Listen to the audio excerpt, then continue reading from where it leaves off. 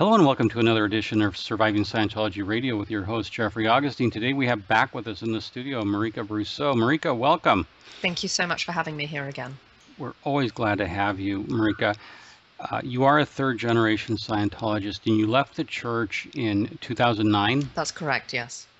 after one year in the Sea Org. Yeah. Now, your parents are Hayden and Lucy James, Mhm. who were in the church for a very long time. What people need to know is that the Church of Scientology is made of people, hmm and particularly it's made of extended families. Yes.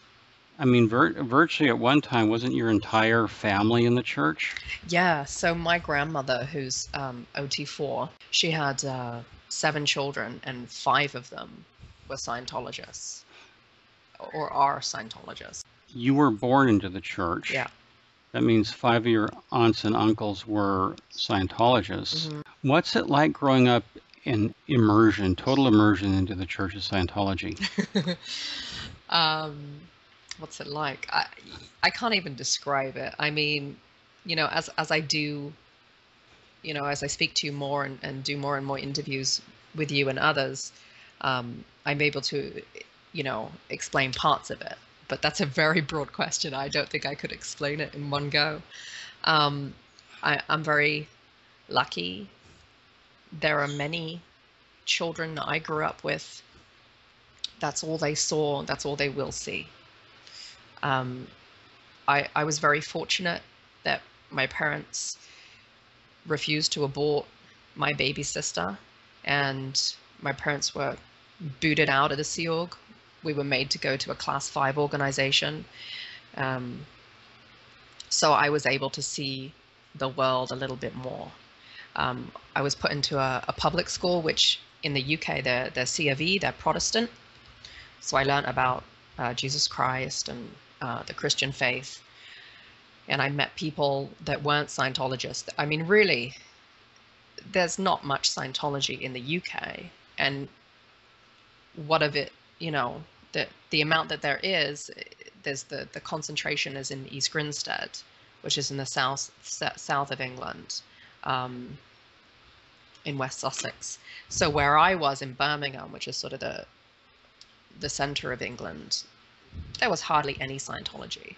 So I didn't have any, you know, I went from, you know, 520 children in the PAC area that were all Sea Org kids.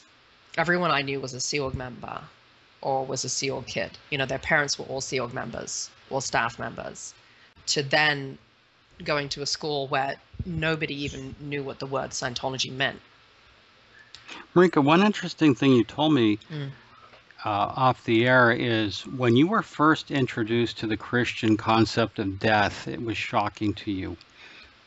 Exactly. So it was around Easter time, and we were learning um, about Jesus Christ uh, being crucified on the cross and how he had um, died on the cross, and then uh, after three days, I believe it is, he rose again. Correct, Mhm. yes. So I was saying to one of my friends, but uh, but I don't understand the significance of that.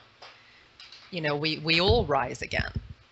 Um, Re- reincarnation. reincarnation, right? yeah, Scientology teaches reincarnation, so the idea that Jesus rising would be unremarkable. Mhm. Until my friend explained. I mean, I, I was sort of like, but we all do it. We all, once we die, we get a new body and we live again. But she said, but but Jesus didn't get a new body. He rose in the same body, and I was fascinated by that. Like, oh wow, how old were you? it's about eight or nine. Now, did the idea that people died and went to heaven? Well, this was the other concept. So, so that's what she was trying to explain to me as well. Not only, you know, was this unusual, you know, that he rose again, because you, what's normal is that people die and they don't rise ever again. They don't get a new body. They don't ever rise in the same body. Yes, in the in the Christian worldview, you the the Bible says it's appointed unto man to die once and then judgment. hmm But in the Scientology world and, and in the Eastern world, and this is the where Hubbard borrowed the concept from, reincarnation, you live eternally. hmm So the idea that you would live one life, die, and then be judged, how did that strike you as a Scientologist child? Oh my gosh, well, I just thought the idea of death was, I just didn't understand it. I, I was trying to imagine it. I was trying to imagine being in a coffin in the ground and not thinking, not seeing, n- nothing. I was trying to imagine this sort of nothingness, and, and I really couldn't wrap my head around it. No, well, and, and the reason I ask is because you grew up in a Scientology world where reincarnation is a given. hmm So the Christian view of, of death sounded different to you. hmm You couldn't Extremely really, final. Yeah, you couldn't think with it, as they say. Mm. Now, also growing up in the Church of Scientology, what one thing that would have been normal to you was disconnection. Right. What were you taught as, about disconnection as a child? You know, I, I I- saw it happen around me. Um, it didn't affect me personally um, until I was 15. Uh, I was on staff in Birmingham Org, and uh, my mom was the ED. My dad was the senior CS. Um, now, my biological father, who I hadn't really had much contact with, actually, the last time I saw him was that time I went for my eighth birthday and I, I struggled to get home again because he found out that my mom was on the RPF and there was no one in LA to look after me. Yes, that's as we covered in our last interview. Right. So, And I, I, I want to recommend to listeners who haven't that they hear the first interview we did. It was a very fascinating look at childhood in uh, PAC Base mm, and and other places. So what happened in the disconnection when you were 15? okay, so I haven't seen my father in seven years. I don't really know him much. Um, I think we might have spoken on the phone once or twice, but he invites me to visit him. Now, at this point, my brother is living with him. My brother's been living with him, I think, for about two years now. Um, so my dad gets me a ticket. I there was some um, misgivings about me going because uh, I think he was he was under investigation by the church at the time. Something to do with a company that he worked for. Now he was a Scientologist. Your biological father, Mhm, Yeah, and he and he was being investigated by the church for some reason. right. So we knew we'd heard something about a committee of evidence being held, and so my parents sat me down. and Were like, "We're not sure if we're going to let you go because we think he's, you know, in in some sort of ethics trouble, and we don't know how that's going to play out." And then my mom spoke to my dad, and he sort of poo-pooed the whole thing. Oh, it's no big deal. And anyway, I ended up going. I got there. I stayed with him for a couple of weeks. Now, towards the end of my stay, well, sort of during the stay, he let it be known to me that he would like me to come and live with him. And um, I could go to high school and he would teach me to drive and get me a car and eventually I could go to college and you know may, maybe get a get a job being a lawyer or something like that. Um, he worked in a law firm at the time. So towards the end of my stay, he sort of opened up a little bit more about um, his feelings about Scientology. And he basically told me that he was going to get declared. He says they're trying to declare me. It, it was hard for me to contemplate. Uh, I, I didn't really know him too well. Um, and I didn't know what he was supposedly being declared for. I knew being declared was like an extremely scary thing. Um, one of the worst things that can happen to you as a Scientologist. But the way he said it was like, they're trying to do this to me. Like, I'm not an SP. Like, why would they be trying to do this to me? So I was kind of like, yeah, I'm not, I'm not sure. Now, then he told me some very interesting stuff. He told me about David Miscavige beating people. He told me about uh, David Miscavige um, really, you know, taking over the power of the church and um, some of the things that, that David Miscavige is being accused of today. He told me back then uh, in 1997. So that long ago, he told you that David Miscavige was beating people hmm and had taken over the church. At this time, though, you're 15. hmm Right. And how do you think of David Miscavige at this time? I think he's a petty little bitch. Really? Yes. And and I'll go into more detail about why I think David Miscavige is a petty little bitch later. I, it, it it has to do with this whole disconnection. But in terms of this story just here between my father and I, um, yeah, he opened he opened up about some of the things that he felt, you know, was going on in the church, and uh, he definitely blamed David Miscavige for that, and that was essentially what he got declared for, was for bad mouthing David Miscavige. Although his declare doesn't quite say that, but that's really all that he was doing. He wasn't doing anything else wrong. Now, at this point, I've flown back to England, um, and it's a and and it was a couple of months later that I got told by my mom, you know, look, your dad did end up being declared. Um, but I don't, I, I don't think I ever told my parents about what he'd said. I, you know, I had to sort of brief them about some of the things, and I did say some of the things, but some things I'd forgotten. Well, it also opens a can of worms. Yes, very And much so. In the Church of Scientology, you certainly learn to keep your mouth shut. hmm No, I wasn't trying to hide anything. I just, I think I didn't know what to make of it all, um, and it was very hard for me.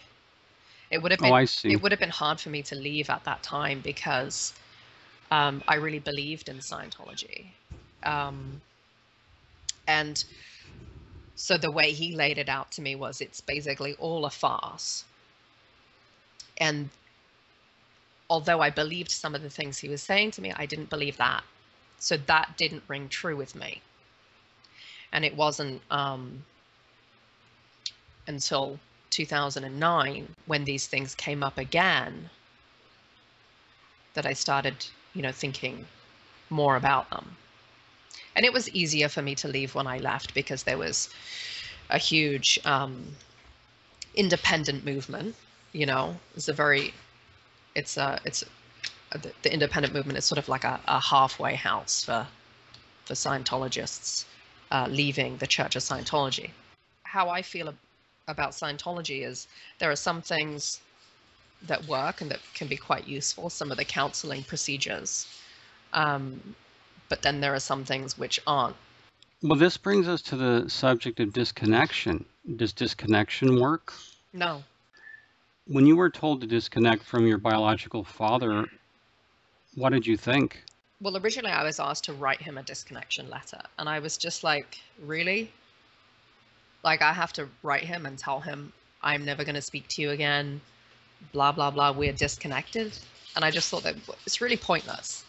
Um, I hadn't had much touch with him throughout my life anyway. You know, I hate to, I hate to say it, but, you know, when I came back home, it's not like he called me and said, hey, how was your flight? And, you know, thanks for staying. And he didn't keep in touch. So as, you know, and I think because he knew and, and he knew I was going to come home and be like, you know, my dad has some pretty whack ideas about Scientology. You know, when he sat me down and he told me all that stuff and, you know, we had that heart to heart, you know, that was his, that was his last chance to try and get through to me. Um, Oh, I see. I, you know, that's really interesting how he's, how your biological father gambles on being disconnected from you to try to tell you the truth. He's taking a very calculated emotional risk. yeah, but at the same time, he knows it's his only chance because he's about to get declared. So, in context, he's going to try to talk to you one last time. And I can understand his motives as a father. Mm. And within the Church of Scientology, that is his last chance to try to speak to you. Mhm. But it really doesn't, you know, at that point it falls on deaf ears because you're still in the church and you love your, you love Hayden and Lucy, your parents. So I can see how this puts you in a very difficult position and your biological father in a very difficult position. Yeah.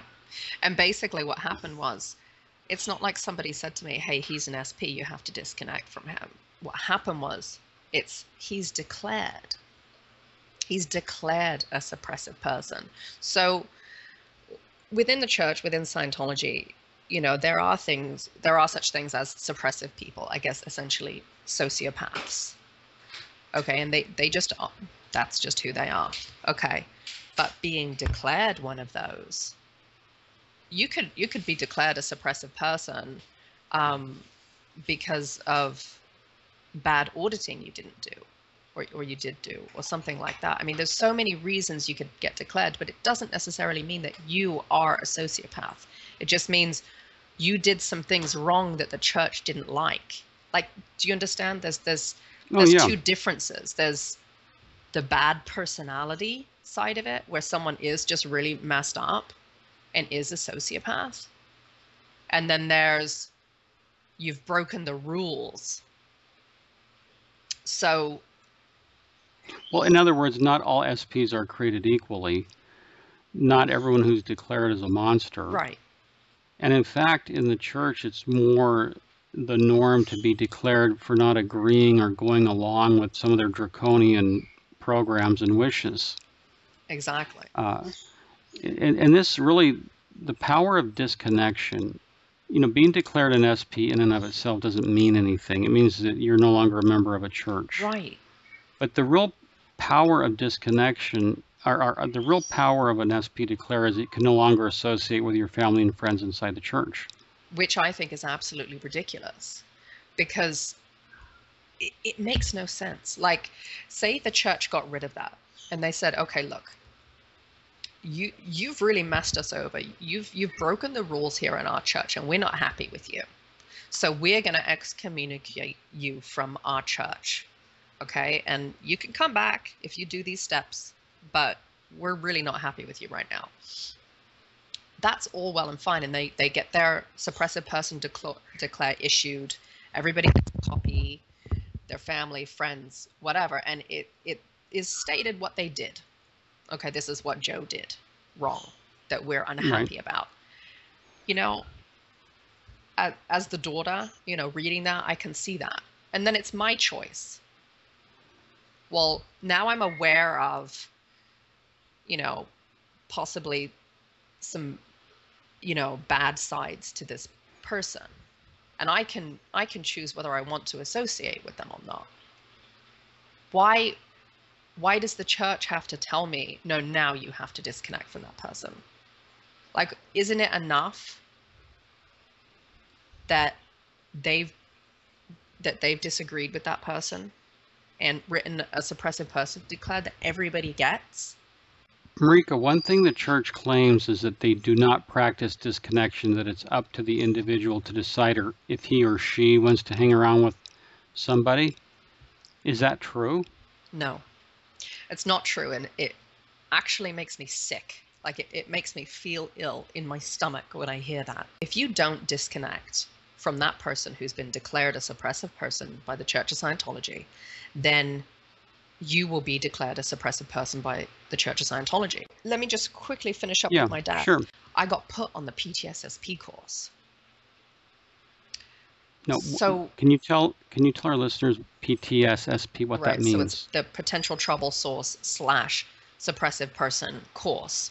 So if you're connected to a suppressive person, you are a potential trouble source. And that is what the church is very, very, very worried about. They're not, they- they're just very worried about you being PTS. So they don't want a scenario where you're on OT7 or you're on OT8 and you blow your brains out or you kill somebody um, or there's any bad PR connected with that. They want, you know, just good things from their parishioners. well, this is their continual obsession with PR and good image. Mm-hmm. Yeah. So, um, so I got put on this course, which I guess it's like, if the church, this is where that whole, you know, you have a choice thing comes in. Um, you don't have a choice. So if they think someone is a suppressive person, hey, look, even if that person isn't declared, say the church haven't declared them, but they they think you know, your husband's a suppressive person because he's stopping you from donating or whatever it is, they'll put you on that course. They to try and essentially make you think that that person is is suppressing you and is um, holding you back in life. And you're supposed to have your own cognitions about things, but really, it, it they're making you have your have those cognitions. Well, in this course, is it sort of tailored to you disconnecting from somebody? Of course, Is it, it goes so into whole- it goes in. You learn all about the PTS SP tech. So it's it's all to do with um, what a suppressive person is, um, their traits, their their personalities, their objectives, how they become suppressive, um, um, how they suppress, uh, the different types of being under their influence, being PTS to them. Um, so so you learn those different methods. Um, you're essentially trying to learn how to control a suppressive person. Um, and you're taught that the main point is you either handle that suppressive person so that um, they're no longer a negative influence in your life or they don't have a hold over you, or you disconnect from them. so that's the church's famous handle or disconnect. Exactly. That whole course is, is designed to do that. So you learn things to handle. You know, you learn about good roads, fair weather. If you have an antagonistic family member, how to sort of not bring up those antagonisms and and uh, you know just talk about the nice things.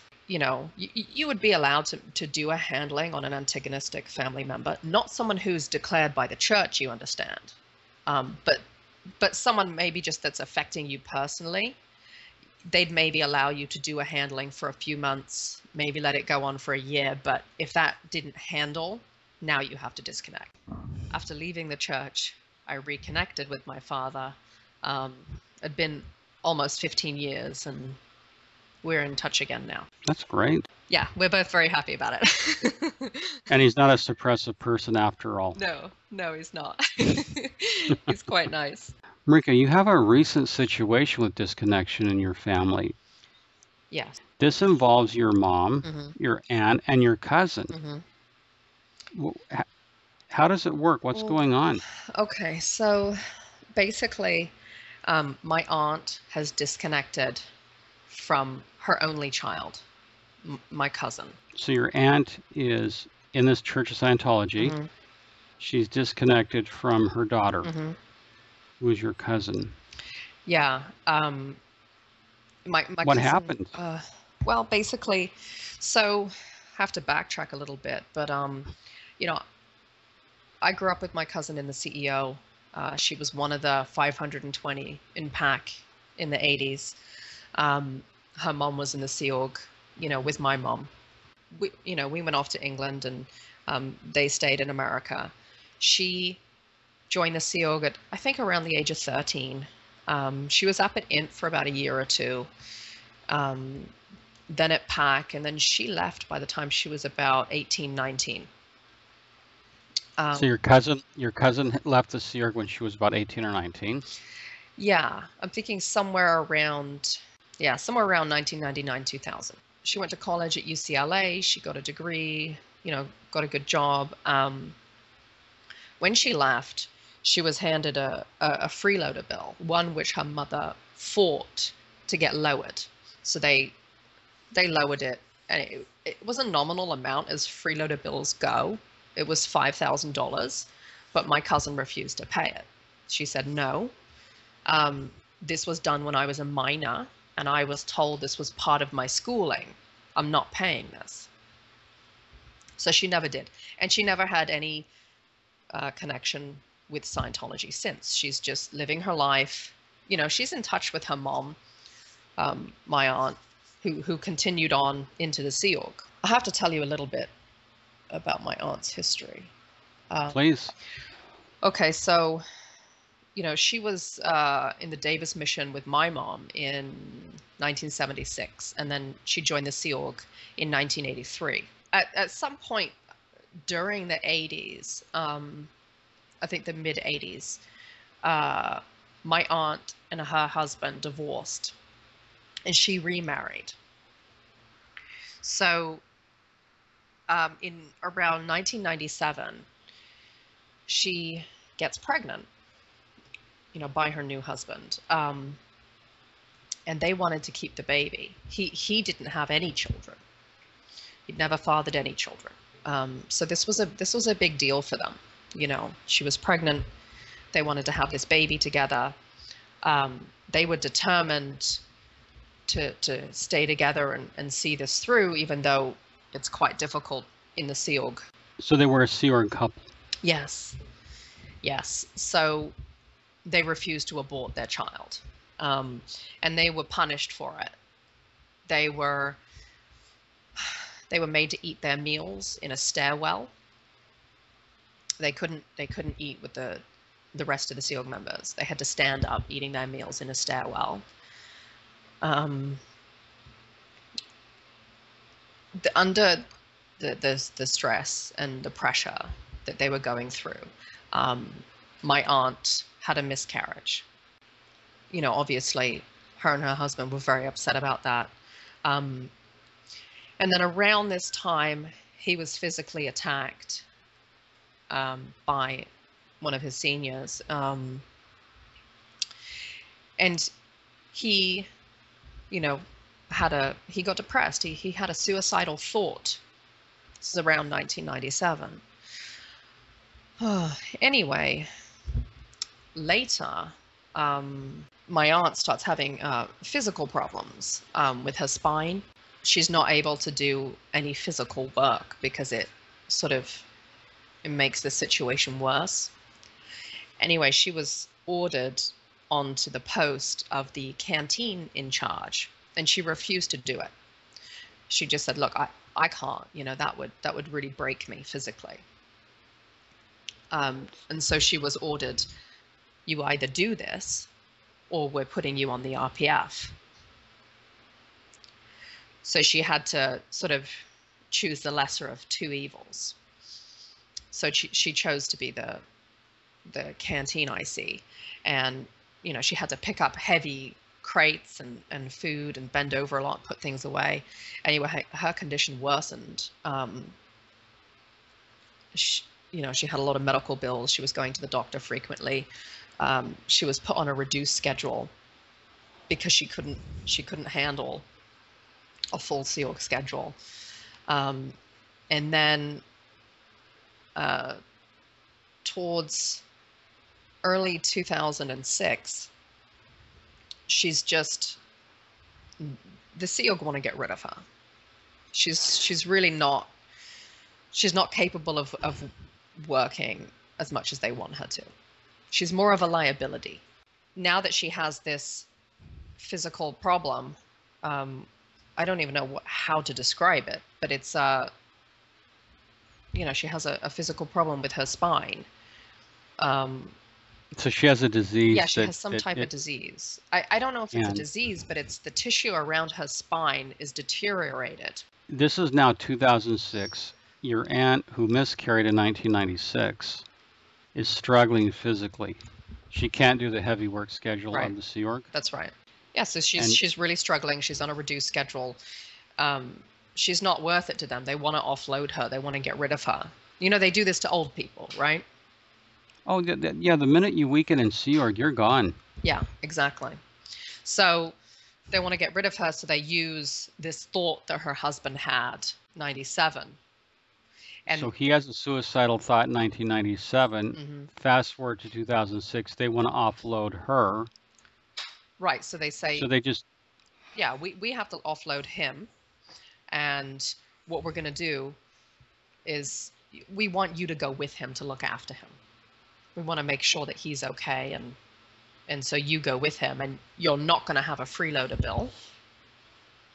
So they, they get rid of him first. And, you know, I think a, a couple weeks later she arrives. Um, and then they're together. so your aunt and uncle are out of the Sea Org. Then what happens next? she gets a job as a personal assistant to sort of a big wig Scientology OT. Um, He's the mission holder for about four missions, I think. She's earning good money, and then they act- they rescind on no freeloader bill, and they decide that that they're actually going to charge her.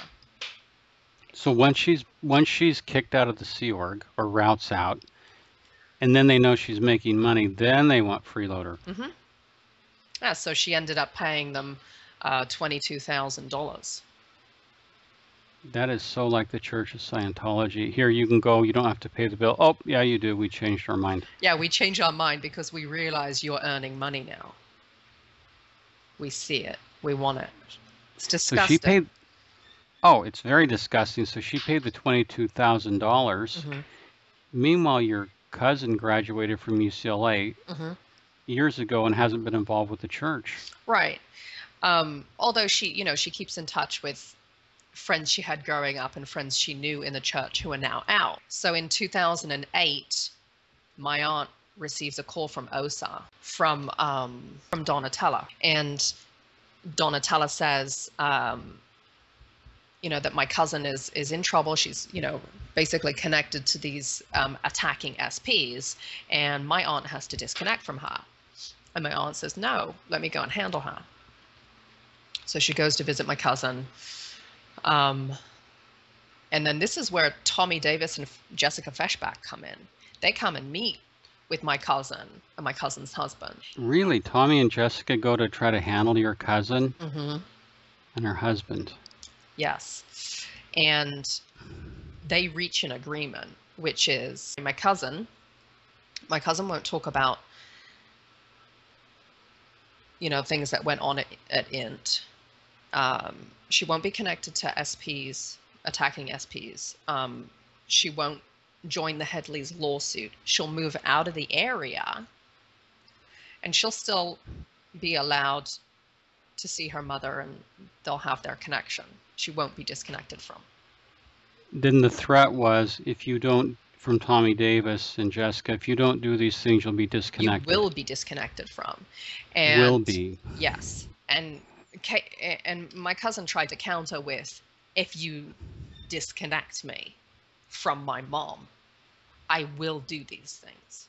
We know that Tommy Davis was very active, but I don't think people realize the degree that he was active at that point in time in severing relationships or threatening to. Mm, Because when the Indies exploded mhm. onto the internet, they were a huge threat to the church. Oh yeah. And this is where Osa, Donatella Kevinar, her husband Fritz, everyone began policing the internet. That's right. Facebook police. Here we come. Do do do do. So your your cousin has to agree not to be a party to Claire Headley's lawsuit. Mhm. What happened with that?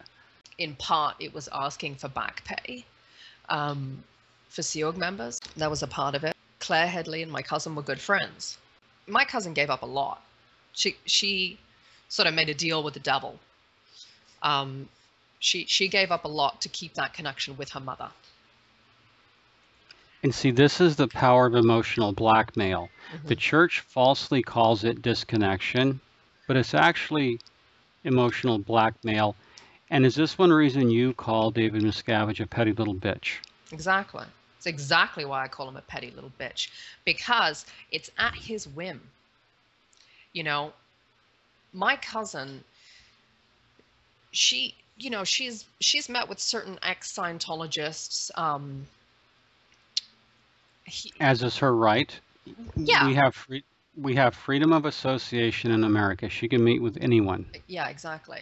But you know, within the Church of Scientology, and it this is David Miscavige. This is him. This is how petty he is. He's like, oh, yeah, you're allowed to eat, meet with um, this attacking person, Paul and Mark, and yeah, you can have lunch with Bob every other Sunday. Oh, but you're talking to Tracy? Oh no, we're going to disconnect you now. Well, why not Tracy? Is this purely at his whim? Exactly. He is so petty. He's like a he's like a teenage high school girl. That's what he reminds me of. Elaborate. So so my other grandmother who's never been in Scientology, she's probably at attacked Scientology or said worse things about it than my cousin. But my aunt isn't being forced to disconnect from her. This is Why? you honestly want to know Sure. because my aunt's going to get an inheritance. Really? hmm Oh, so when your grandmother, who's not a Scientologist, passes away, your your aunt, who is a Scientologist, stands to inherit a lot of money. Exactly. Therefore, she can have that relationship. Mhm. That is so cynical. I know, and that's why David Miscavige is a petty little bitch because he in part will, you know, he's fine with taking money from my grandmother that hates him, but he won't let my cousin, you know, go to to SeaWorld with Jenna Miscavige without disconnecting my cousin from her mother. So your cousin knows Jenna Miscavige, hmm and David Miscavige is going to police anyone connected to Jenna. Right. Mareka, the question I have to ask as an adult man, David Miscavige, and, and help me here. hmm David Miscavige promotes himself as a global ecclesiastical leader. He has his attorney praise him that he's one of the leading figures of our age. but it sounds like he's sitting in his office hmm looking at all these relationships in the church. Yeah. I mean, if you were really a global executive, you don't have time for this nonsense. No, he would just be like, he would just be getting on with things, but he's not. It's it's very bizarre. It's you know he has some sort of status issue, and it's it's like you're allowed to be friends with this person, and this person is allowed to be friends with this person. Okay, here's the kicker: my cousin is best friends with Jenna Miscavige's brother, and she's No. been allowed to be best friends with him during those six years, like from 2008 till now. And no one has ever raised an issue. She even went on vacation with him. But she friends Jenna Miscavige on Facebook and she's suddenly disconnected from her mother. Then it's World War III. Mm-hmm. I mean, really, again, I repeat my question. Don't these, doesn't David Miscavige and the people knows that have anything better to do? They're, they're down to the level of deciding who can like who. Exactly. Yeah, This is high school. exactly. That's why I say he's like a little teenage high school girl. Because funnily enough, the high school boys didn't really get into that that much. it No, was the girls. I mean, he's essentially a high school girl. Well, I wouldn't argue with you there. It, it, it- it can be very petty and vindictive. It would be funny, except for the pe- fact that it actually destroys families. Right. And and and that's what that's where my anger is with this. So I really feel like my aunt should know better because we already had a, a tragedy in our family due to disconnection. What was the tragedy? um okay, my my grandmother, the OT4, um, she she committed suicide. She committed suicide? Right. Um, yeah, what happened was, um, you know, she she had a disagreement with the church. Um, I don't necessarily want to go into all the details. Um, but she No, we don't need to. Right. So she disagreed with the church. Um, they um, pushed back against her disagreement and she asked for a refund of her money. Um, they then said that, you know, basically she was attacking and she was an SP and they kicked her out of the church and they made all of her Scientology children that were in the US disconnect from her. So my mother got sent to St. Hill. She got my mother and my father were ordered to St. Hill. They got there, they were told you have to disconnect from your mother. My mother refused.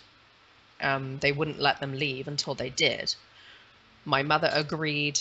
She wasn't going to write a disconnection letter to her mother, but she said, I'll agree that while you're handling her, I won't speak to her. Um, Now, your mother's in the Sea Org at this time. well, she's in the UK. She's the ED of a Class 5 org. Um, she's on garrison from the Sea Org. So she's still technically a Sea Org member, but she's she's not working in a Sea Org org. She's working in a Class 5 org. The Class 5 Org's sort of a, a lower level hell for Sea Org members. Yeah. The, you know, you get sent to a Class 5 org if you don't abort your child. That was what was being done in the 80s and the 90s. Now, going back just for a moment, Mhm. Mareka, what's the church's policy? Are you forced to write a disconnection letter? What happens? Yes. Basically, you have to go and see the MAA. You write the letter in front of them, and they have to approve it. So if you put something in there that they don't like, they'll make you change it. And then, you know, you you once they've approved it, then you mail that out. They make so they make it look like you originated the letter and wrote it yourself, but the whole time they're behind the scene. Yes, exactly. And that's really the lie. When Sylvia Stanard or any other church PR says, well, it's the individual's choice, they're omitting to state that they had to go to the MAA, which Mhm. is like a church police officer. They had to write it. We looked it. We, we reviewed it and approved it, and then we made them mail it. Mhm. So this is sort of, you have a gun to your head basically, because if you don't go in and write that letter, you could be disconnected. Yeah, exactly. Yeah, you have to. It's forced. This is forced. Nobody wants to do this. You know, nobody in their right mind wants to disconnect from their family. They're usually very devastated by it. And like I said, my mom refused. But, you know, she was allowed to leave on the grounds that, okay, you know, but the time it takes them to handle grandma she won't she won't speak to them and i remember her at the time encouraging me to write to grandma um, she'd just gotten on the internet um, and we had a couple emails back and forth and she said to me you know she said you know i'm I, i'm not able to write to grandma right now but could you and could you tell her how you're doing and just be in touch with her um, so i did that we had a couple emails back and forth um, so my mom's not able to talk to her. The other four children have officially dis- disconnected from her with letters. Your grandmother has to be devastated. She has spent, what, her lifetime in the church? Yeah, she, now she's she's spent disconnected. yeah she spent a good few years in there, and you know her children, most of her children are there. Um, her grandchildren. I mean, it's the it's the only life she knows at this stage, and she's she's 70 years old. She's 70. Her family have disconnected from her, and then she gets this letter from the Church of Scientology that says this is regarding her refund because she requested a refund. And they say that they will award her or they will refund her one dollar. One. That's it. yes, one dollar. That is it. That is an indicator that lawyers are at work because a nominal sum of $1 is often used in contract law. Mm. But of course, your grandmother's 70 years old. How is her health at this point? It's deteriorating. Um, so now she has, she's been disconnected from, she's 70 years old, and now she has no money. So she's old and sick and broke, Right. which is the worst thing you could be if you're a Scientologist. Mm. She's disconnected. What does she do? So, so then she, yeah, she kills herself. Oh my God, I am so sorry. What? She kills herself. And and I, here's the thing: I didn't actually find out that she committed suicide until I had left the church in 2009. What So year did she? What year did she take her own life? it was around 2000 um, And you didn't know this until until Eight nine. 2009. Yeah, I, I mean, my mom never even told me that she'd passed away. My mom was so devastated by it. Um, I remember going into the org one day in 2000 to meet my mom for lunch, and she wasn't there, and I was handed a letter from her. and it said, you know, I'm really sorry. Um, I wasn't able to call you. I, I I had to rush off to the U.S. I, I'm going to an ED's conference, and I'll I'll see you in a few days. And I was like, okay. Um, But your mother was really going to handle her, her mother's suicide. she was going to the funeral, and she was even her CSW, uh, her request uh, for permission to leave to go into the funeral was denied, but she went anyway. That needs to be pointed out. Uh, Mike Rinder, uh, you know, very early in his Sea Org career, he and his wife had a, an infant child die. Mm, And David Miscavige did not allow Mike Rinder to go to the funeral. He did not allow him any time to leave. it's disgusting. The other thing I wanted to mention is the church hides the deaths of people. Karen and I only learned that her son Alexander had died through the kindness of a stranger on Facebook. Hmm. So you didn't know your grandmother had died? No, I found out a few months later when I was over at my mother's house, and she was showing me um, uh, pictures, like family portraits and uh, family photo albums, and I didn't recognize them from from our collection. And and I said, "Oh, where did you get these from?" And she said, "Oh, I, I, while I was in the U.S. at this ED's conference, I went and I saw Grandpa." I was like, "Oh, okay." and then I saw this box and it had my my grandmother's name on it. Now my grandfather and my, my grandmother are divorced. So when she said she Mm. went to see grandpa, I I kind of I was like, "No, you didn't go and see grandpa." I said, "You've got grandma. This is grandma's stuff. Why do you have stuff that's grandma's?" And that's when it clicked for me. And I looked at her. And she looked at me and I knew and she knew I knew, and I was just this moment. And I said, you know, she's she's dead, isn't she? And she said, you know, I'm really sorry. I, I, I didn't know how to tell you. I'm still really upset about it. I can't talk about it. But um, she never told me it was suicide. Um, I What did she say? that um, that my grandmother's health was failing and that she causatively dropped her body. So your mother told you the same thing the church said about L. Ron Hubbard. Yeah, Causatively dropped her body to go get a new body. right. I think she was trying to tell me in the, the least painful way. It is what the church calls an acceptable truth. In other words, the, the church has a policy to state what's called an acceptable truth, which could be a lie or you could spin it. hmm Yeah, yeah. It's usually a spinning of something. Like, okay, here's a here's a good one. So, um, I don't have a, a Birmingham accent, and I I usually get asked, like, you know, you, you sound like you're from down south, and I say, oh yeah, I went to school down south. That's an acceptable truth. I don't say, well, I tried to join the Sea Org when I was 11 years old, and I ended up in the Cadet Org over there but I went to school down south. So my cadet org experience was my boarding school.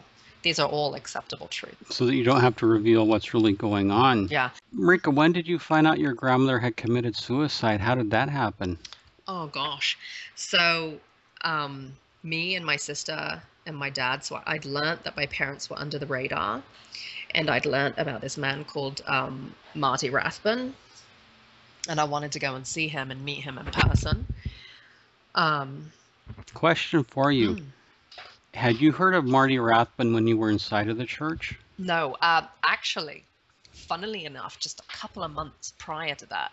See, because I'm UK public, and you know some of the US faces and and and management, we don't really see that much.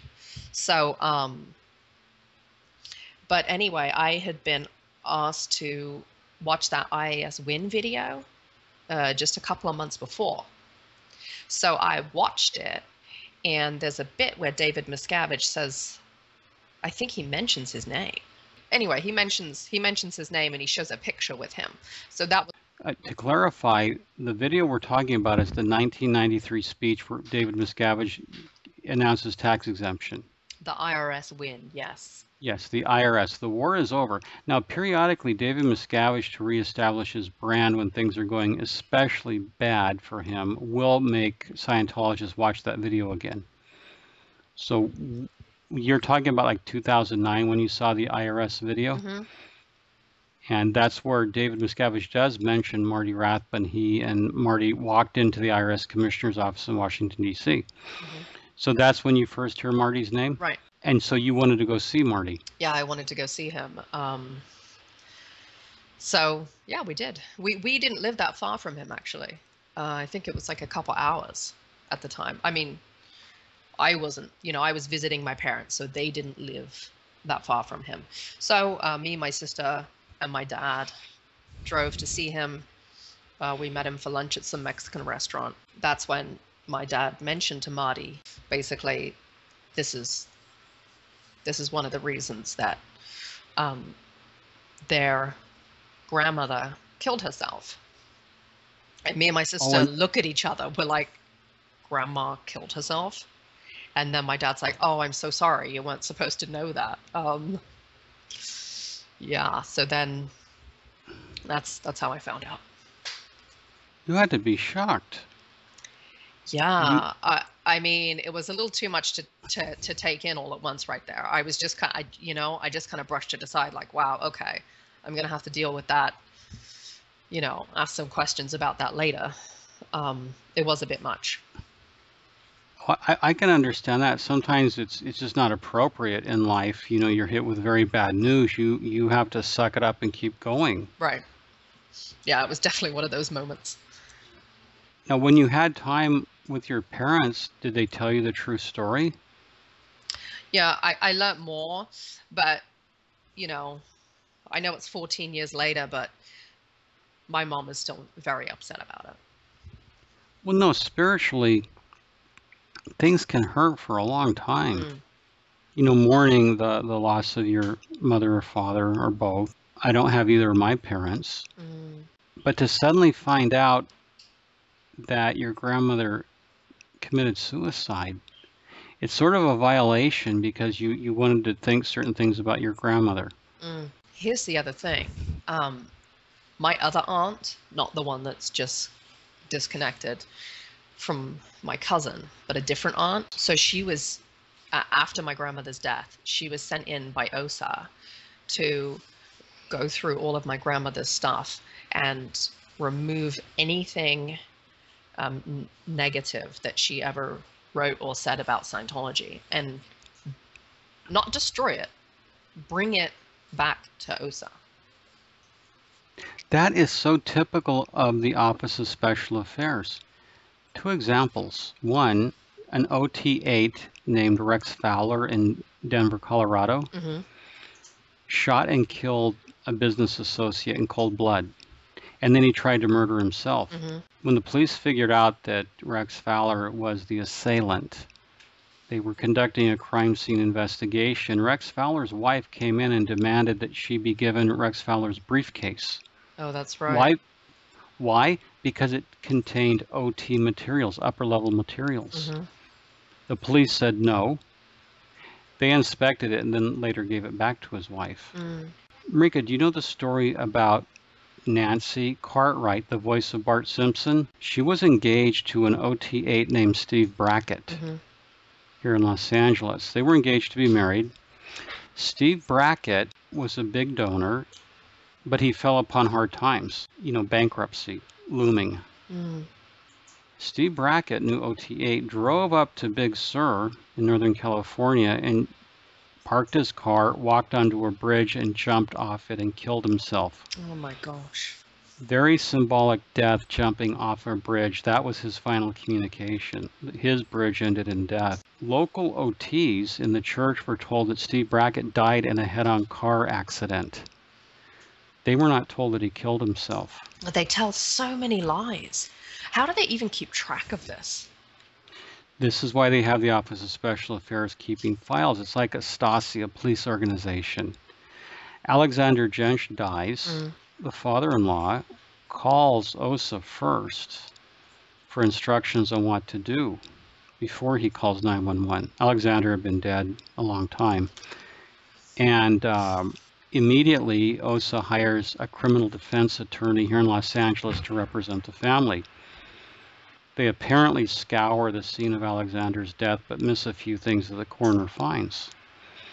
So these sort of go in and clean up before the police see what's going on is a very typical Church of Scientology operation. Oh.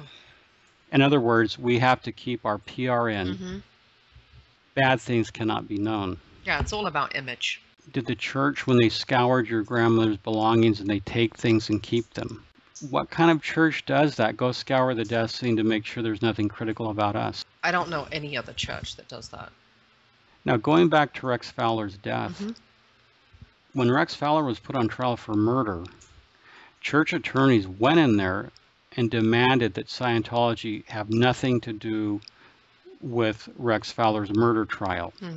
This, although Rex had taken probably $200,000 out of the company to donate to the Church of Scientology. That's right. And even though that could have been part of the motive, uh, the reason why Rex Fowler couldn't repay his business associate or employee, that the church demanded that they kept be kept out of the murder trial. So it's a, it's a pretty cold cold operation. hmm Going back to your cousin, Mm. Tommy Davis and his wife Jessica visited. Mhm. Did she keep up her part of the bargain? She believes she did. You know, like I said, I mean, she she doesn't really know what she did. Her mother kept saying to her, "You know what you did. You know what you did." And she's like, "I I didn't know what I I don't know. Please tell me." And it was so obviously, you know, a, a, an OSA operation because my aunt and her ex-husband who she's been divorced from since you know the mid 80s um, they both called my cousin at the same time to tell her that she was being disconnected from Really? mm-hmm. Like don't you find that suspicious two people who are divorced and have been for a really long time both coming together and deciding hey you know let's at exactly the same time disconnect from our daughter Well, this is typically OSA stage managing everything. Mhm. But we go back to the PR is no, these people are choosing to do it of their own free will. No, they're not. no they're not Under the theme of David Miscavige is a petty little bitch, hmm which I really like that phrase. P- PLB, petty little bitch. Right. PLB describes David Miscavige. I think it does. I think it should definitely be a new name for him. Um, it it's a title he deserves. It is a good title, and, it, and it, it goes beyond mere name calling. It goes into a descriptor of someone who's fairly immature, but also very brutal. Mm, Mareka, what's interesting when we talk about David Miscavige and preferential treatment, when Leah Remini left the church, she felt the full force and weight of disconnection. Mhm. She and her family lost everyone they'd known in the church. hmm The same thing happened with Jason Beghe. Now, in the case of Leah Remini, her good friend, her best friend, Jennifer Lopez, stood by her side very publicly. And I applaud Jennifer Lopez for doing that. That meant a lot. It meant Jennifer was taking a stand alongside of her friend. It sent a message to David Miscavige that I'm not going to play your game. Right. This was a big deal for Jennifer Lopez to do because her father's been in the church a long time. Mm, So yes, there's preferential treatment, there's and David preferential. Oh, David Miscavige is not going to disorder anyone to disconnect from Jennifer Lopez. Right. He's too afraid. He's too afraid to take on J Lo. Well, yeah, that's why he's a petty little bitch because he allows Tom Cruise to see Suri. Yeah, so if he is gonna um, apply to Tom Cruise the same rules that he applies to your everyday Scientologist, then no, Tom Cruise wouldn't be allowed to see Suri, and Katie Holmes should be officially disconnected from and have her own SP declare. That's part of the Church of Scientology is the unequal treatment, preferential Yes. treatment of celebrities. Yes. And really, if you're broke and a nobody and sick, then we'll get rid of you. Yeah. Yeah. Exactly. They didn't. I've they often- didn't care about my grandmother. She had no money. She was old. They didn't care about my aunt. You know, she had a a physical condition and she wasn't able to work that hard within the Sea Org. They got rid of her. That's what they do. I mean, it's disgusting. If you're in the Church of Scientology, God help you if you weaken. Mm. And and that's really sad coming from a church. Like this is a church, people. But it's not a church, it's a cult. But I mean, it has church status and it's called a church and it shows no compassion. Here's a, a, a parting shot for me on disconnection. Just because something is written doesn't mean you have to practice it. For example, when I was in the Christian church, there's some really violent verses in the Bible. Mm. In the Old Testament, there's a verse where you can stone your children to death if they're disobedient. Oh my gosh. That doesn't get. Yeah, no, it's there. Wow. Nevertheless, the modern Christian church doesn't practice stoning people to death. Mm. Shockingly, Muslim extremists behead people. hmm But my point is just because something's written in a holy book doesn't mean you have to practice it. You're free to be intelligent about your own religion and not practice those parts of it that are violent or disturbing. That is a very good point. If you want to go by the Scientology, what's true for you datum, well then why you know why would you be basically applying something in your life that you don't believe in? Probably because what's true for you is true for you actually means what's true for the church will be true for you or will declare you. hmm Mareka, final question. Mhm. In your opinion, is a member of the Church of Scientology truly self determined? No. No, not at all. And there's many reasons why. You know, one of them being if there's something that you you don't understand that you read, you know, book or lecture, LRH scripture, you have to find your misunderstood word. So you're not really in a position where you're allowed to say, you know what, I don't understand this. It doesn't make sense to me, or I don't agree with this. So that's one thing. Another thing is if you if you if you're in doubt about something, doubt is PTS. So a lot of Scientologists, um, when they make decisions, they don't think long and hard about it or or contemplate things. They make that decision. It's like a snap judgment because there's this stigma to taking your time and, and thinking through something. That would be a comm lag. Right. Yeah. Comm Which lag is- is is one of them. But no, but actually thinking. A guy named Ron Salvo, hmm he made these interviews where he goes, It's aberrated when you get into think, think, figure, figure. Mm. It's aberrated.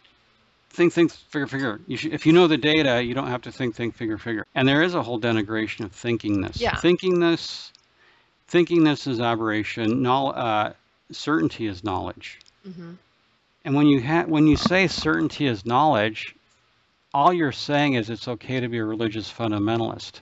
I'm certain of what L. Ron Hubbard and Scientology says, therefore I have certainty, therefore I'm going to steamroll you. Mm. I have certainty. How dare you invalidate my wins? So due to that, if there's something you don't understand, well then it, that's because of a misunderstood word that you have. You're not allowed to really contemplate, think about things, and, and make a decision. And then the ways that Scientologists make decisions, the greatest good for the greatest number of dynamics, has really come become the greatest good for David Miscavige and the Church of Scientology. There's there's not really free thought within Scientology, so you, you can't make your own decision because of that. When you leave the church and you start thinking for yourself, it must be tremendously liberating. Oh my god. it's it's fabulous. It's really nice. It's it's nice to be able to think something and then not try and unthink it. It's nice to be able to evaluate things and say what they are, call them what they are. Extremely liberating.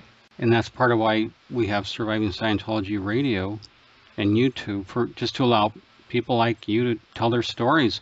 Mareka, as always, it's been a pleasure having you in the studio. Thank you so much. It's been great talking to you.